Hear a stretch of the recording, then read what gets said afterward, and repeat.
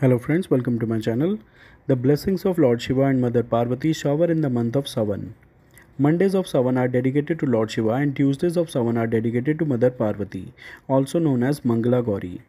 Married and newly married women keep this fast for a good and happy married life. Married women do this fast for the long life of their husband and children. But if both husband and wife fast together and worship Shankar Parvati, then love, happiness, and peace remain in married life. This year, Sawan month will start from 20, 22nd July 2024 and will end on 19th August. Now I am going to tell you when is Mangalagauri fast in the year 2024 but before that I need to tell you that to know when is Mangalagauri fast this year and in the upcoming years you can click and visit my website link mentioned in the description box of this video. In North India, the Sawan month starts on 22nd July Monday.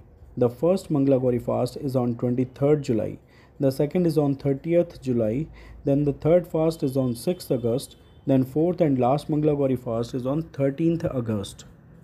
Sawan month is ending on 19th August Monday. In South India, Sawan month begins on 5th August Monday. First Mangalagauri fast is on 6th August and then on 13th August, then 20, 20th August and after that Mangalagauri fast is on 27th August and last Mangalagauri fast is on 3rd September. The month of Shravan is ending on the same day that is 3rd September. For more information, you can visit the link in the description box.